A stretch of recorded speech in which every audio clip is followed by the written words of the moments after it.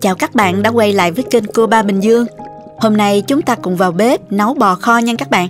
Khác với cách nấu lúc trước mình đã từng chia sẻ, lần này mình sẽ đơn giản hóa các bước thực hiện và gia vị sử dụng sao cho tối ưu nhất theo hướng dễ làm, dễ tìm nguyên liệu mà vẫn cho ra thành phẩm bò kho chuẩn vị, thơm ngon. Để nấu món này không khó nhưng có nhiều bước và liều lượng cần phải nhớ. Vậy nên các bạn đừng quên lưu lại video này để tiện sử dụng và nhớ đến mỗi khi cần nấu bò kho ha. Chỉ cần xem kỹ theo từng bước, món bò kho sẽ trở nên dễ làm hơn bao giờ hết. Nào chúng ta cùng bắt đầu thôi.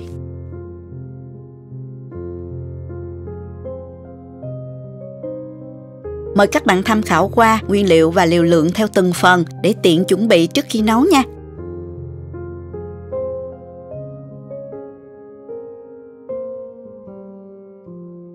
Đầu tiên mình sẽ sơ chế phần nguyên liệu ha.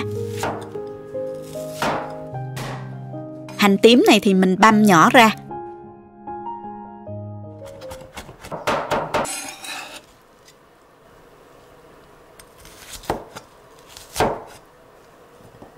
Phần tỏi này cũng vậy ha các bạn.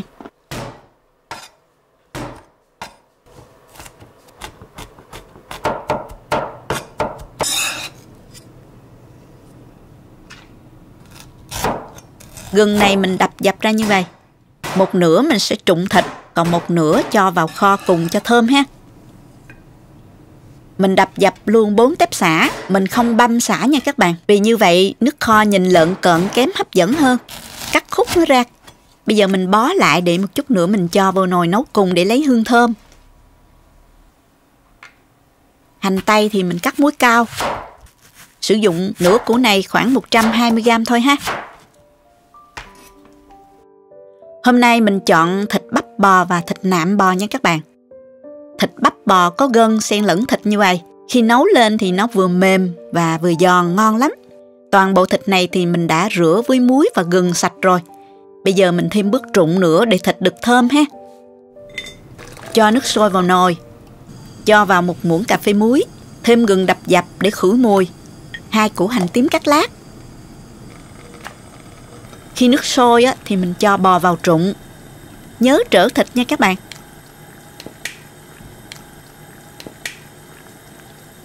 Mình trụng khoảng 3 phút rồi mình gấp thịt ra.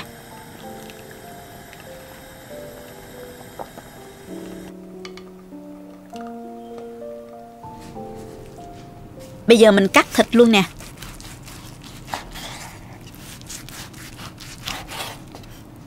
Khối vuông cạnh khoảng 3,5cm.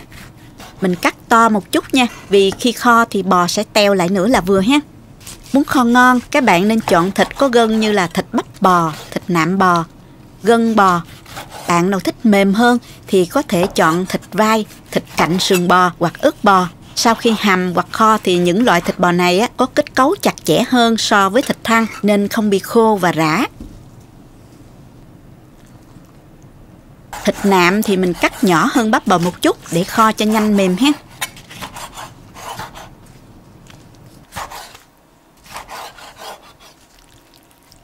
Cắt xong thì mình cho qua thố để ướp luôn nè.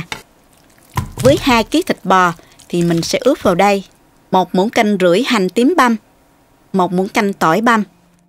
Vị mặn thì gồm có một muỗng cà phê muối, hai muỗng canh bột niêm gà, các bạn dùng loại bột nêm nào cũng được ha. Vị ngọt gồm có 2 muỗng canh đường, một muỗng cà phê bột ngọt. Bạn nào không dùng bột ngọt thì mình không cho vào nha. 2 muỗng canh nước tương, một muỗng cà phê tiêu.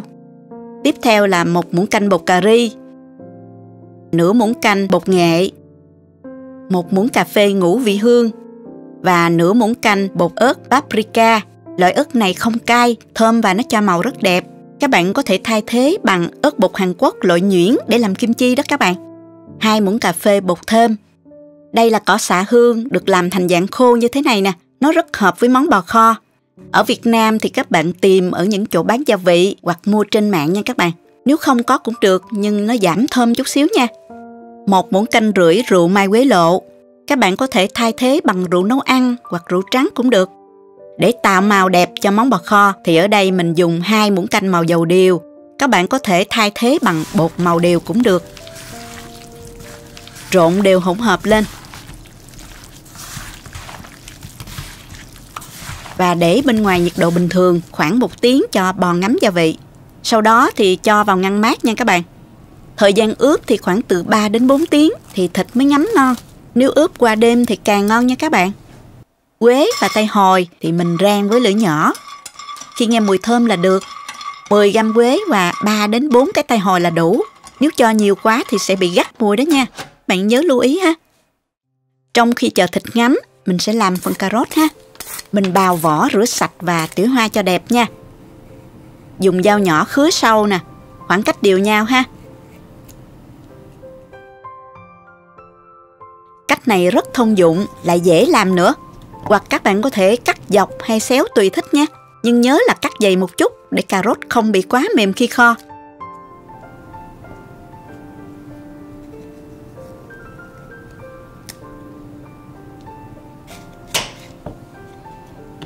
Mình làm xong rồi nè các bạn.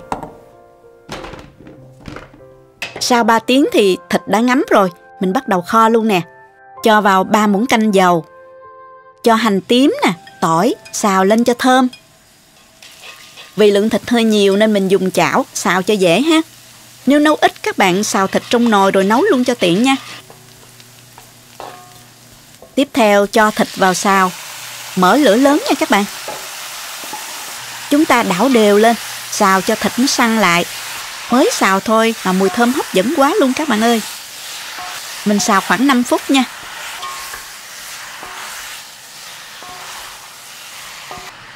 Như vậy là được rồi nè. Mình cho thịt vào nồi này để nấu ha.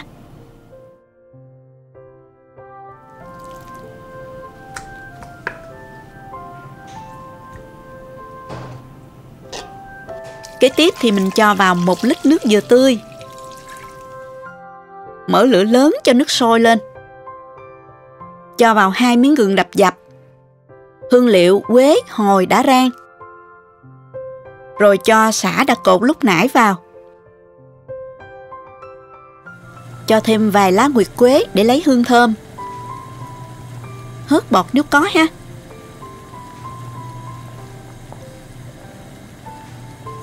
Mình nấu khoảng 30 phút cho thịt ngấm vị ngọt của nước dừa tươi cùng các hương liệu thơm. Bây giờ mình mới bắt đầu cho nước vào nè. Mình cho vào một lít nước và mình tiếp tục nấu. Các bạn để lửa nhỏ vừa để thịt bò đủ nhiệt cho nhanh mềm ha. Có thể đầy nắp lại.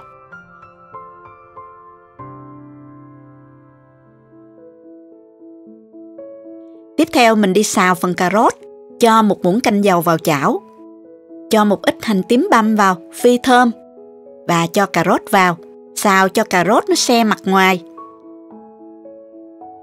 Và mình nêm vào một muỗng cà phê bột nêm gà và một ít tiêu cho thơm. Bước này giúp cà rốt thấm vị khi kho và không bị rã đó các bạn.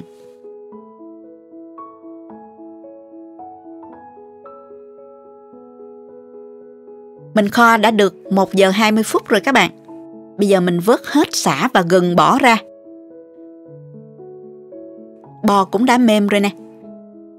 Và cho thêm vào 300ml nước sôi để bù lại lượng nước đã bốc hơi khi nấu. Và mình nêm vào đây hai muỗng canh bột nêm gà. Các bạn sử dụng loại bột nêm nào cũng được ha. Một muỗng canh đường. Một muỗng cà phê muối.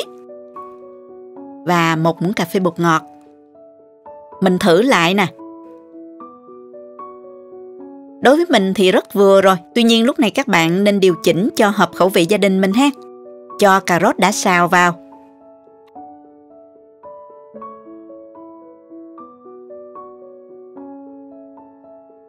Hạ lửa thật nhỏ và mình nấu khoảng 10 phút nữa thì cà rốt vừa chín mềm.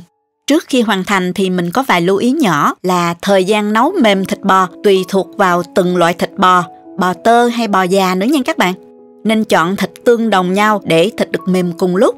Khi sử dụng gia vị tạo thơm, nhớ dùng vừa đủ để bò kho không bị gắt. Và bây giờ mình muốn cho nước bò kho có độ sánh nhẹ đó, thì mình hòa 2 muỗng canh bột bắp với 4 muỗng canh nước. Cho vào từ từ và mình quậy nhẹ cho bột chín. Cuối cùng thì cho hành tây vào và tắt bếp.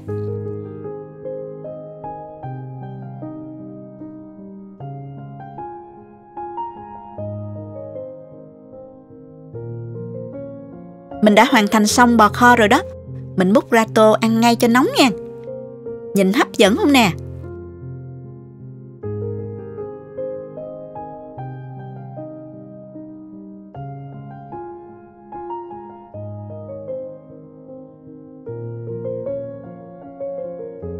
Dọn kèm với muối tiêu chanh hoặc muối ớt chanh ha. Ăn cùng với bánh mì thì hợp nhất. Ăn với bún hoặc cơm cũng ngon lắm các bạn. Thịt bắp bò thì mềm, hơi giòn của gân rất ngon.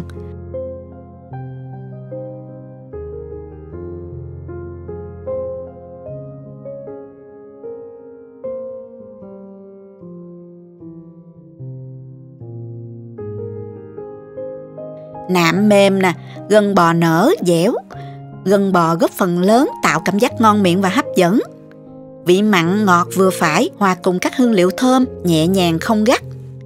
Khi ăn, chấm thêm chút muối tiêu chanh cho đậm đà nè. Phần nước có độ sánh nhẹ, vị thơm béo vừa phải, cũng hấp dẫn không kém đâu các bạn. Chấm với bánh mì ngon lắm luôn. Cà rốt vừa chín tới, mềm nhưng không nhũng. Nếu nấu nhiều còn dư lại, các bạn hâm sôi lại để qua ngày dùng càng thấm ngon hơn nữa nha. Nếu có thắc mắc gì hoặc bạn nào nấu ngon, nhớ comment cho mình biết với nha. Chúc các bạn thành công với món bò kho. Nếu thích cách mình chia sẻ, nhớ like và chia sẻ cho bạn bè cùng xem và đăng ký kênh để xem nhiều món ăn mới các bạn nhé. Các bạn cũng có thể truy cập website cô ba bình dương.com để xem công thức nấu ăn dưới dạng bài viết.